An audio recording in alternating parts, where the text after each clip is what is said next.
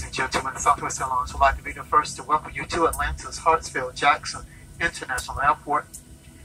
Please remain seated with your seatbelt securely fastened until the captain has parked the aircraft at the terminal building and turned off the fasten seatbelt sign. At that time, we ask that you carefully gather your personal items in preparation for deplaning the aircraft. Please exercise caution when opening the overhead compartments as carry-on articles tend to shift during flight.